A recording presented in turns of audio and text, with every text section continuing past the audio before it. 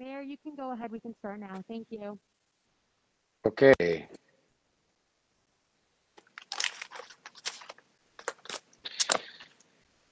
Well, good morning, everybody, and thank you very much uh, for joining us uh, this morning.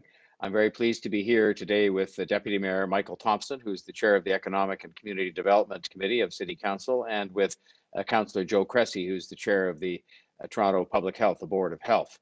And I just want to say at the outset that uh, they have shown a great leadership together with staff who I'm going to recognize uh, at, the towards the end of my remarks in doing something that I'm very uh, proud of. Uh, we said from the beginning, from the very beginning, and it seems like so long ago, that we were going to set uh, a high standard with respect to how we treated uh, some of our communities that required extra support uh, and attention. Some people who were more vulnerable or, or more heavily impacted upon by COVID 19.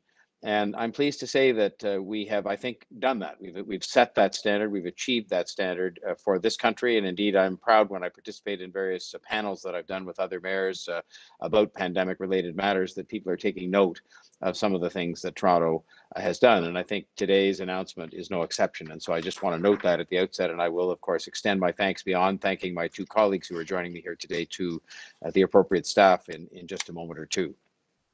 COVID 19, as we know, of course, has brought to light a variety of issues in our city in our country, and in fact, around the world. Uh, what is clear during the pandemic uh, is that there are extraordinary impacts that COVID 19 has had on a number of communities within our own city, including the Black community. According to data, the highest COVID 19 cases, 26%, were among Black people of African and Caribbean descent, a community of people that represents only 9% of the population. So a, a, disproportionate impact to a huge extent uh, in, in the case of the impact of COVID-19. This is as a result of uh, longstanding systemic health inequities related to poverty, uh, to racism, and other forms of marginalization and lack of access to opportunity, which have been exacerbated by the pandemic we are committed to taking action on this data. Just as we as a city government are undertaking a broad series of measures to combat discrimination, including anti-Black racism, so too are we going to act on the particular impact that this pandemic has had on the Black community. In the case of the fight against COVID 19, we realized that we needed a more targeted approach to reach Black communities. What we're announcing today are steps forward. This work further cements the commitment we have to supporting our Black communities. These initiatives, under the heading of Black Community COVID Response Plan, are meant to specifically provide supports to the Black communities in Toronto so as to help members of those communities to fight off the virus, to fight off its effects on them, uh, and to try to address some of the root causes for the extraordinarily disproportionate impacts on them through partnerships with the community agencies that are Black led and primarily Black serving. And these kinds of partnerships throughout have been absolutely essential to all the efforts that we've made to help people that require extra supports. We are going to increase wraparound supports for Black Torontonians and families to help them to stay well physically, mentally, and emotionally through the pandemic. The city has invested $6.8 million in funding and partnered with 12 community agencies to provide this kind of targeted outreach and support to the top 10 neighborhoods with the highest percentage of Black Torontonians and the highest COVID 19 case rates. And the kinds of supports we're talking about include increases in culturally responsive mental health supports. This is vitally important in and of itself. Uh, food access and food security assistance, mobile and community based testing, mobile services to support seniors and people with disabilities. And these are things like food delivery or wellness checks, a commitment to continue advocating for income support and housing security, some of those supports we've been advocating for during the course of the pandemic, and of course, before and after as well, and coordinating health policies, programs, and provisions targeted to the Black communities in the city of Toronto and for that matter, beyond. I want to share a few testimonials with you so that you can see and feel the impact that this uh, kind of extra support is having in these communities. In the York Weston Pelham area of the city, Unison Health and Community Services has shared the story of one resident who is very thankful for the meals that she has received for herself and for her family. And her children are happy because they're going to have something to eat. These are families, and, and, and unfortunately, they do exist in the city of Toronto, who don't know when their next meal will be, how they will get it, or where it will come from. This work that we're doing with our partner agencies mean that children and families in these hard hit areas are being fed. In the Humber Summit area, the Delta Family Resource Center tells us that residents co- who come to them for support are thankful for the weekly food and gift card donations, the PPE, and the virtual programming that they receive to help them understand better how to avoid coming into contact with the virus. Recipients of prepared meals continue to express their appreciation for the culturally sensitive food that they receive. It might not seem like something that is a big deal, but oftentimes traditional food supplies through food banks aren't able to accommodate the cultural needs of various populations that we have in our city, including our Black communities. By investing in Black led and Black serving organizations, we are ensuring that residents in our city who need help and who have been COVID impacted the most are receiving what they actually need. This type of support is a lifeline for these families and for many other families across the city. This plan and the work being carried out by the community partners is supplemental to the work being done through TO supports, which we announced last year. Now, another big part of our fight against COVID 19 is our vaccination rollout. Vaccine hesitancy, and as you know, our responsibilities, the federal government is responsible for the supplying of the vaccine, the province for setting the prioritization, and we're responsible for more of the activities at the grassroots and actually implementing some of these programs. Vaccine hesitancy, which would cause people to be hesitant even to go to a place we might established uh, for the administration of a vaccine when the time comes, hopefully not too long from now, vaccine hesitancy is high among Black residents. And that means we have to do everything possible to provide them with the information they need to get around and get over that hesitancy. The city has partnered again with community agencies to provide COVID 19 health and safety awareness in Black communities and work with experts to prepare for and to support our immunization rollout. The experts make up what we have named the Black Scientists Task Force on Vaccine Equity which was created in partnership with the Taibu Community Health Center to effectively address the vaccine trust and confidence issues across the Black communities. For those who don't know, Taibu is, Taibu is highly respected, uh, based in Scarborough, for its work with the Black communities, but in particular in the area of mental health. The task force, which includes Toronto Public Health and many of Canada's top Black scientists involved in key aspects of vaccine development and Black public health, will review the major concerns and the issues around COVID 19 uh, testing and the levels of vaccine acceptance and develop public health recommendations to effectively address the concerns of Black residents uh, and the concerns they have, especially as regards the vaccine. This task force will present a final report on its findings and recommendations to the city by April the 30th. To ensure that we're moving things along starting sooner than that, though, on February the 13th, a series of free virtual town hall meetings will be available for residents to attend. They will be hosted by members of the task force and by several of these community organizations that we have partnered with. Each session will focus on a different topic. The first session, which will take place on Saturday, February the 13th from 2 until 5 in the afternoon, will focus on the historical and contemporary issues of trustworthiness around vaccines and medical science. The panelists will include a few expert members of the task force. So I encourage all Black residents in the City of Toronto to participate in these sessions. And you can find out more information about these virtual town halls and about the work of the task force uh, at the city's website, toronto.ca. Before I finish, as I promised at the outset, I want to give a very special word of thanks to our city staff who've been working hard over the entirety of the pandemic over the past year uh, to find ways to support all of our residents, of course, across the city in new and different ways sometimes, but also to ensure in particular that those who are more vulnerable are getting the extra support that they need. It's fine for us to set a standard that we wanted to be very high in terms of supporting our some of our vulnerable and disproportionately impacted residents, but there are people who actually develop the programs and actually implement them that are, of course, more essential than our declarations in this regard. And so a special thanks goes to Denise Campbell, the Executive Director of Social Development, Finance and Administration, and Aina-Nia Grant for the work that they, the two of them, have been the leaders in doing this work on implementing and developing these initiatives and the ones that we previously announced through TO supports.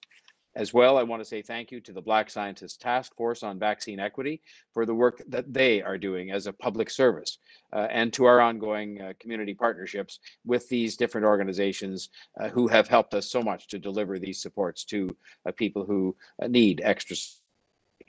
Addressing these concerns requires a team effort. And none of it would have been possible without all of the people I've mentioned. And of course, they'd be the first to say without the teams that in turn work with them. So thank you for committing to help us uh, to ensure that Black Torontonians get the support they need, which we've been able to identify and now hopefully step forward to begin uh, to meet uh, in, in a more fulsome uh, manner. On that note, I would like to invite uh, somebody who's also been instrumental in making sure these supports are there and these issues have been at the forefront of our discussions uh, throughout the pandemic, and that is Deputy Mayor Michael Thompson to say a few words. Thank you very much, Mr. Mayor, and good morning. And uh, just before I begin, Mr. Mayor, I want to compliment you on your leadership and uh, that of Councillor Cressy as well. Mr. Mayor, you have been steadfast with respect to the idea that all Torontonians will actually be offered assistance and so on with resources provided by the city. And I want to commend you for your leadership. So thank you very much. The past year has been the most challenging time in the lifetime of nearly all Torontonians for those of us who live in vulnerable communities, the challenge is um, acquiring food, income, employment, and housing existed long before the pandemic, and in fact have been exacerbated by the spread of COVID. Black Torontonians are contracting COVID at a greater rate than other residents in the city and are less likely to line up for vaccinations against the virus than other residents of other races and background in the city. To stop the spread of the virus, it is critical that residents in the Black community have access to appropriate health and safety information about COVID 19 and the vaccines developed to control its effects, and that they have access to the support they need if they have been exposed to or test positive for the virus. Initiatives like Toronto Support Equity Action Plan, the Black Community COVID Response Plan, and the Black Scientists Task Force on Vaccine Equity are essential to provide appropriate and timely support to residents who need it. The city does amazing work under the most trying circumstances since the declaration of the pandemic. We have rolled out numerous initiatives in record time pivoted as we gained greater understanding of the threat, and changed course when it was necessary to battle the virus. Staff in the city's social development, finance, and administration has worked diligently to establish the most effective community and professional partnerships to help us inform and serve the Black residents. Our plans aim to reduce COVID 19 in Black communities and increase the rate of vaccinations. I want to encourage, and I want to repeat, I want to encourage all members of the Black community to participate in the free virtual sessions that the mayor spoke about that are scheduled for uh, February and March. As Mayor Tory mentioned, information about the Black Scientist Task Force on Vaccine Equity can be found on the city's website as there, as well as other links and details of upcoming town hall uh, meetings. I'd like to take a moment to extend my personal gratitude to the many partner community agencies that have worked with us over the past year to address the urgent needs of our residents. The city can only do so much on its own. Our partnerships with these community agencies is essential to connecting with residents in their communities, helping us to understand their needs, and showing us where we have to step in to fill in the gaps. The partnership developed through the Black Community COVID Response Plan and the funding allocated to Black agencies serving Toronto Black Torontonians from the TO Support Investment Fund are critical to our work on reducing the rate of COVID in the Black community. I would now like to introduce my colleague, Councillor Cressy, to deliver his remarks. Councillor Cressy? Well, thank you, Deputy Mayor and, and Mayor Tory, uh, both of you, for your relentless and, and principled leadership on this file and many others. Um, to beat COVID, we know we have to protect those hardest hit by the virus. Uh, to beat COVID, it's fair to say that we must address many of the pre existing inequities that this pandemic has laid bare. That's what it means. In fact, that's what's required to be all in this together. And so early in the pandemic, Toronto Public Health began collecting and sharing data on COVID cases, broken down by geography, by income, by race, by housing status. By now, many of you know the numbers 49%, half of Toronto's cases have been people living on lower incomes. 79%, the overwhelming majority of Toronto's COVID cases have been people of color. But what's been of particular concern has been a consistent and disproportionate impact of COVID on Toronto's Black communities. Despite representing only 9% of our city's population, over the course of the pandemic, between 16 and 33% of our COVID cases have been Black Torontonians. Right now, 24% of all COVID hospitalizations are Black Torontonians. And so when we, when we saw these numbers, I can tell you we all felt a sense of urgency to immediately address them. And so in the fall, as you know, we launched our, our Equity Action Plan, the first of its kind in the country, alongside a host of targeted measures in hard hit neighborhoods. And today, as the mayor and deputy mayor have, note, have noted, we're following through on our pledge to launch Toronto's Black Community COVID Response Plan. It's a comprehensive set of actions in partnership with 12 agencies on the ground to not only provide enhanced support for Black Torontonians during COVID, but also to support targeted Black community vaccination campaigns. And it's at this point I do want to pause and recognize leaders in the Black community. While Mayor Tory and Deputy Mayor Thompson and I may be here announcing this plan, leaders, advocates, and health experts in the Black community have been leading and, in fact, pushing for this for a long time. You know, community health centers like Black Creek or Rexdale or Parkdale Queen West and Taibu, organizations like the Black Health Alliance, the Thorncliffe Neighborhood Organization, and the Wellesley Institute, and individuals like Angela Robertson, Kwame McKenzie, Safia Ahmed, Cheryl Prescod, Paul Bailey, Liben Gebremikael. I could go on and on and on because it's leaders and organizations in the Black community who've been fighting on the front lines of this pandemic. And they, working with the city, have demanded better. And I'm so deeply proud that in partnership with these community organizations and our exceptional staff, Mayor Tory and Deputy Mayor Thompson referenced, our staff at Social Development and Finance Administration and Toronto Public Health, I'm proud that our city has stepped up.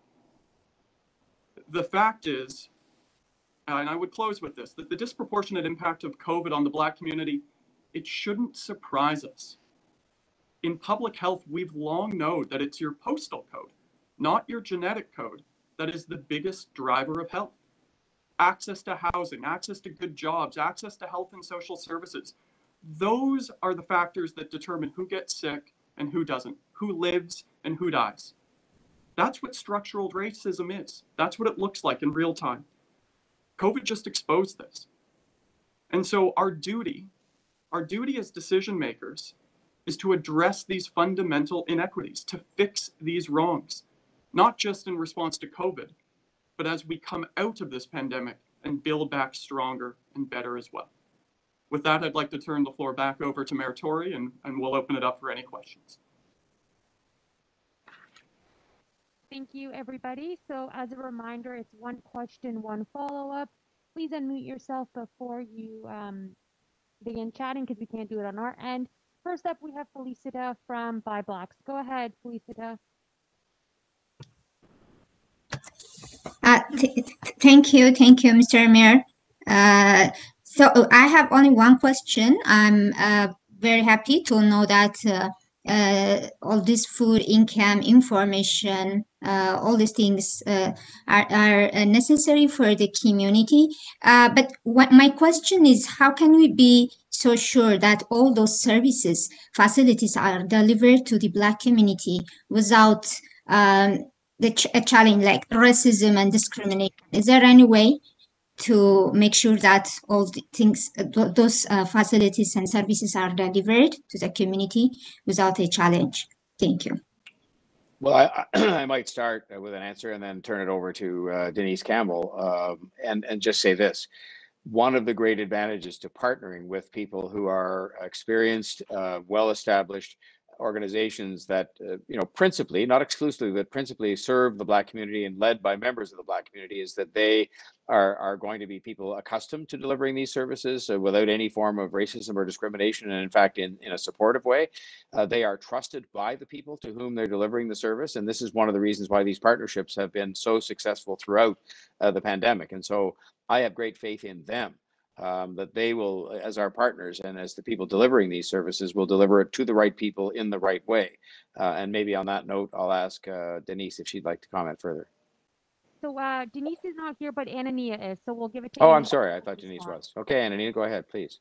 That's fine. Listen, that's a really good question. And I'd like to say, I'd just like to endorse what uh, the mayor has said. That's why we have partnered specifically with um, Black serving agencies, many of them Black led, most of them Black led, because these agencies are grounded in their community. They know what community needs, they have a relationship, and they're trusted. And that's exactly why we have done that to ensure that what you're, ask- you're asking about do not happen or certainly be minimized as best as possible. Okay, Felicita, I think you just said you had one question, so we'll go to Brendan Kennedy from Toronto Star. Go ahead, Brendan. Hi there. I'm just wondering if, and this is could be for Mayor Tory or the Deputy Mayor or Councillor Cressy, um, but if you could elaborate on the efforts to address vaccine hesitancy in, in the Black community. Is it just a matter of, of uh, public outreach and, and public meetings and that kind of thing, or is, or is there anything more to the to the efforts there? Again, I will start, and I think Joe, I'm sure, will want to comment on this. Um, I think a lot of this has to do with trust.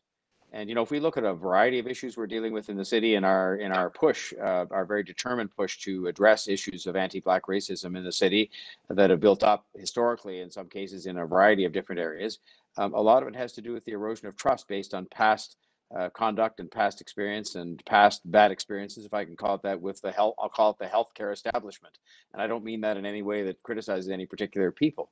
And I think sometimes uh, information and a, and a building of trust through information and through assurance from people who themselves are black scientists, uh, you know, and, and, and experts, uh, and with the help of these organizations, will uh, get around some very understandable hesitancy that people have based on history and just based on uh, uh, the hesitancy a lot of people have about these kinds of things. And so uh, I think that our efforts in that regard will be very helpful. Joe? I would only, I think the mayor said it right there, Brendan. I would expand on it. So the, the Black Scientist Task Force on Equity, we're doing this work in partnership. It's being co-led by the Taibu Community Health Center based in Scarborough. And I would describe sort of three pillars of this work. Education, so to get the accurate information out there in forums that people can access and relate to. The second is outreach to ensure that, as the mayor said, trusted local community members and leaders uh, whether it's your family physician, your your faith leader, or a community leader, are there helping to build that trust and conduct the outreach to support vaccine uptake. And the third pillar, I would say, is vaccine delivery. And this is you've heard Chief Pegg speak often about the city's planning to ensure that we have rapid response mobile clinics to support vaccines that can go into harder hit areas and neighborhoods, right into targeted focused areas like Thorncliffe, for example. And so education, outreach, and accessible delivery all together with a specific black black focus and informed by black leaders. Can I just add as well uh, that, and I agree with the mayor's comments and Councillor Cressy's as well, confidence in education and certainly outreach. But there's also a lot of misinformation that's actually being perpetrated into the Black community through social media and other forms as well. Someone approached me recently and said uh, they had seen something on uh, social media where uh, I, I guess it was a group, uh, a couple of French scientists who were talking about wanting to go to Africa and uh, and and conduct studies and and to vaccinate uh, them with uh, vaccines that actually would not be good for them. And and so people are getting these types of information, which is regrettable. And so we, as a city, and all of our community partners and agencies and so on, have got to do um, a, a better job in terms of creating that level of confidence and providing information because there's a lot of disinformation that's out there that we have to correct so that you know uh, members of the black community are able to get help as opposed to feeling that uh, that whatever assistance that they need they need is not available, and that's what the leadership of the mayor and our team are bringing forward, along with the community partners, to ensure that the accuracy of information is available, to ensure that the confidence and education and the advocacy uh, to ensure that people will roll up their sleeves when it's their turn to get the vaccine. Thank you. And Deputy Mayor, I think you you actually just anticipated my follow up, which was about uh, misinformation, particularly in, in social media. And uh, is there anything specific in this campaign that's going to be addressing that, or is the hope that it's just uh, a matter of um, getting the message out by any means? So if you, I can kick that off. Uh, one of the 12 agencies we've partnered with here is the Black Health Alliance. With one of their focused um, pieces of work here is on outreach and communications within the Black community in our city. And what so part of their strategies that they've talked about, whether it's directed and targeted WhatsApp messaging programs, in addition to the online town hall forums, and even so far as going door to door, counteracting misinformation. We need to make sure that we can get the right information out to the people who need it in the channels and mediums they use, but also delivered by trusted community partners they respect.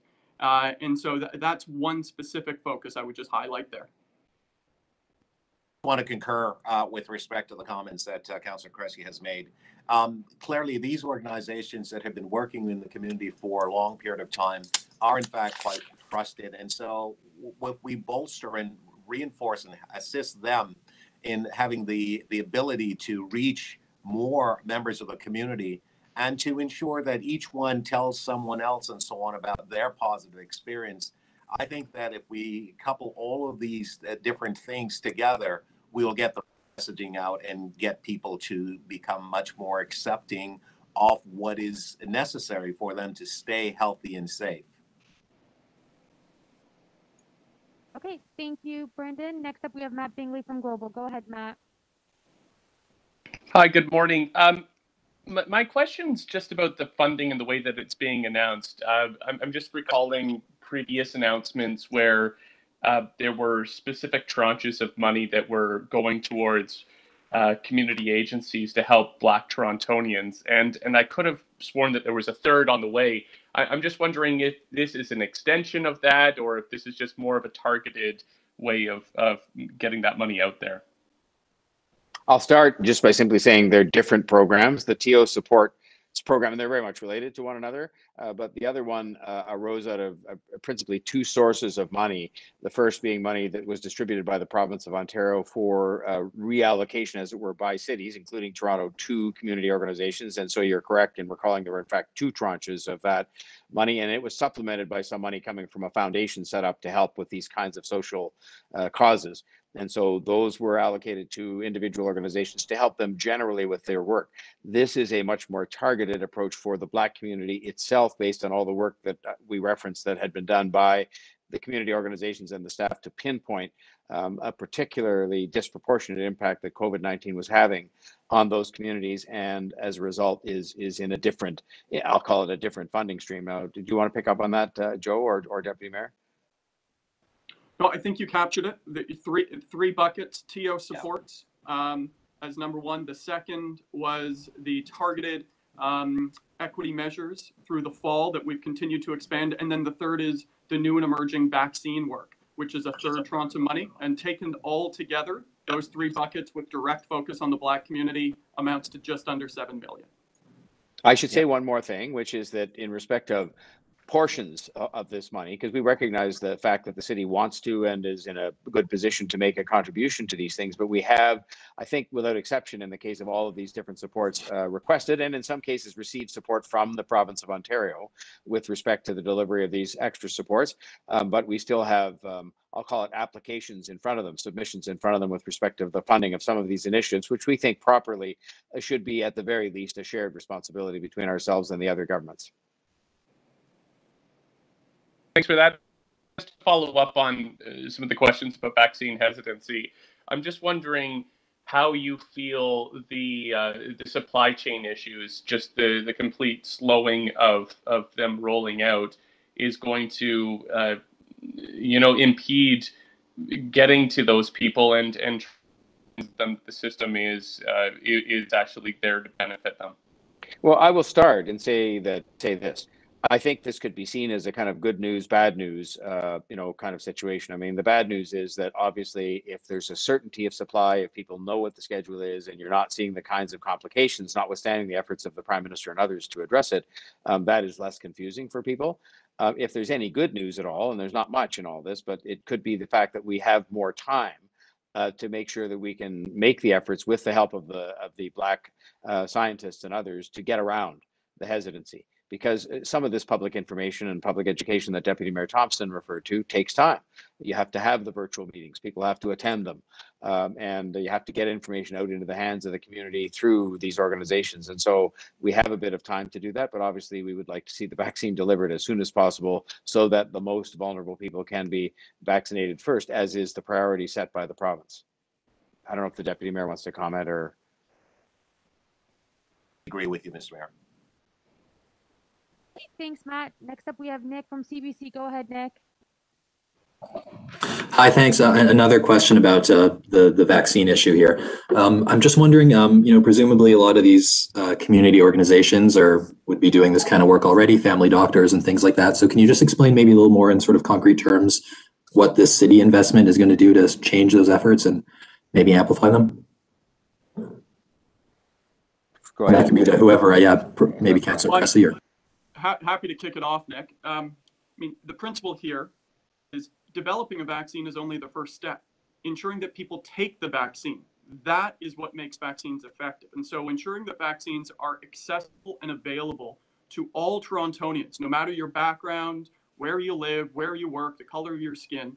And so the, the work we're doing here is developing in real time not a cookie cutter approach to the delivery of vaccines, but rather targeted population specific approaches to ensure that in the Black community, that we're able and working with trusted leaders to get vaccines out the door and into arms. In the Indigenous community, uh, for those experiencing homelessness, in the South Asian and Indo Caribbean community, targeted, focused, vaccine specific outreach and delivery programs uh, in partnership with the province but in many cases being driven by some of our, our team here at the city. That's part of the work. And what we're announcing here today is that critical work specifically for the Black community. But there's much more to come as we continue to work with our provincial colleagues, folks on the ground and other uh, population specific communities. I could just add that uh, many of these community partners were already stressed uh, prior to us wanting to ask them for additional assistance and so on. So there's a necessity for us to be able to provide additional resources to assess them as uh, to, to assist them as part of the outreach and so on. So I think it's important to understand that because many of these organizations, as they have existed and so on, have already were, were financially stressed, and I think it's an important opportunity for us to work with them and engage them with additional resources so that they can expand and re- have uh, a greater reach into the community. One, one final comment on the vaccination front. I think a lot of the work the city has been doing since last fall hasn't yet had a chance to show itself, uh, simply because we've been in the earlier stages set by the province to do some very important things like long-term care residences and so on. But um, we have been working under the leadership of Chief Pegg and others, uh, including those present on this call uh, from the staff, to develop a network of places and ways and channels uh, through which uh, we will carry out our responsibility dictated by the province when the time comes. And that work has been going on and has been continuous and uh, will has put us in a position where I really do believe we will be ready when we get to the stage where there can be uh, immunization of these communities and the broader community, millions of